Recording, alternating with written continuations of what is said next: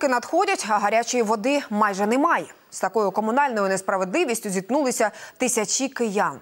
Те, що тече нині з кранів, на гарячу воду зовсім не схоже, навіть якщо зачекати 10 хвилин. Декого ж взагалі відключили від постачання на півроку. Комунальники проводять якісь безкінечні ремонти.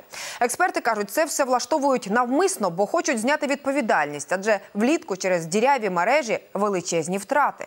Усе детально пояснить наша Христина Гавриш Двое детей. Э, Не, не помыться. Под мэрию вести двоих детей, там купатели. Ну, как, что делать?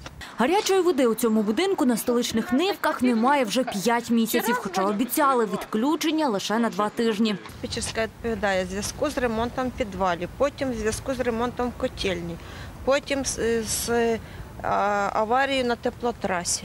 Та ціле літо жодних ремонтних робіт тут не було. Останній раз е, ми бачили здесь ремонтників десь на початку, ну в кінці травня, вибачаю, в кінці травня. Е, Вони зробили тут пожежу. З травня місяця ми роботи ніякі не ведуться. Люди обурені через стару проводку в Хрущовці не можуть встановити бойлери, то живуть у нестерпних умовах і платять за гарячу воду, якої немає.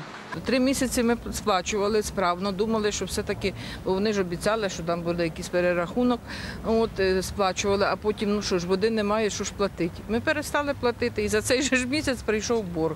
Борги нараховують і мешканцям цього будинку. Вони без гарячої води вже понад три місяці. До 7 августа э, будет проводиться профилактика, ну вот ежегодная. Да. И вот э, с 7 августа мы все ждем, когда же оно случится. Напружитись і пояснити, коли ні ЖЕК, ні Київенерго не поспішають. А два тижні тому на подвір'ї з'явився трактор. Оце вони розрили, закинули все, і отак оце воно на місці на цьому так і стоїть. Без гарячої води нині у столиці 1220 житлових будинків. Майже всі через аварійні та планові ремонти. Тривають вони вже місяцями, хоча за законом мають бути не довше трьох тижнів. Фахівці ж наголошують, компаніям просто невигідно влітку постачати теплу воду, бо споживання менше, ніж узимку, а втрати у дірявих тепломережах величезні, тож собівартість води утричі вища, ніж в опалювальний період. Поки не буде вирівняний той тариф на, на теплу воду е, в літній період, вони просто будуть ставати на ремонт і таким чином е, знімати себе відповідальність. А в нас ремонт, ми не, ми не, ми не можемо працювати. Підвищити тариф улітку постійно просять компанії-монополісти, хоча розв'язати проблему можна і по-іншому, модернізувавши мережі і знизивши втрати. Але це нікому не цікаво. монополіст ну, от в Києві Київенерго просто тупо сів на чужі мережі. Це мережі, які належать місту.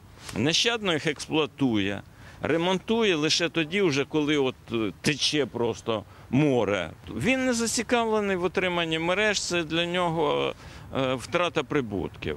У цивілізованих країнах усе вирішує конкуренція. Не отримавши послуг, споживач відмовляється від постачальника і укладає угоду з іншим. В Україні через засилля монополістів це фактично неможливо. У людей немає вибору. Вони змушені платити і терпіти. А владі поки не до цього. Христина Гавриш, Максим Флут. Факти ICTV.